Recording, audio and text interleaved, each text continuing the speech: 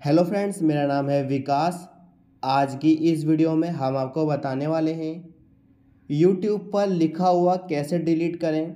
अगर आपने यूट्यूब पे कुछ भी लिखा है, सर्च किया है तो इसको डिलीट कैसे करें, आइए जानते हैं। आप देख सकते हैं, मैंने कितनी सारी चीज़ें सर्च करी है तो मुझे इसको सबको डिलीट करना है। अगर आपको सिर्फ़ एक या दो डिलीट करना है तो उस पर लॉन्ग प्रेस करें और रिमूव कर दीजिए, वो लिस्ट से हट जाएगा। मैं ये वाला करके दिखाता हूँ, मैं इस पर लॉन्ग प्रेस करता हूँ और रिमूव कर देता हूँ तो ये हट जाएगा, पर मुझे सारी करनी है।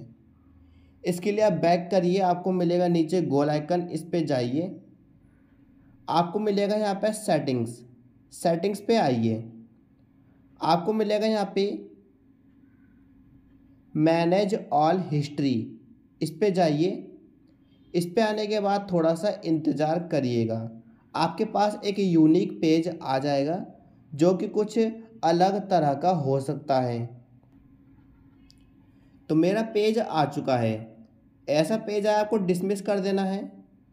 आपको ऐसा पेज मिलेगा, आपको नीचे की तरफ़ आना है, आपको मिलेगा डिलीट तो यहाँ पे हिस्ट्री पे रहिएगा। डिलीट ऑप्शन पे टच करें, आपको मिलेगा डिलीट ऑल टाइम इस पर जाइए। इस पर आने के बाद आपको यहाँ पे मिलेगा डिलीट इस पर टच करो और डिलीट कर दीजिए गॉडेड कर दीजिए।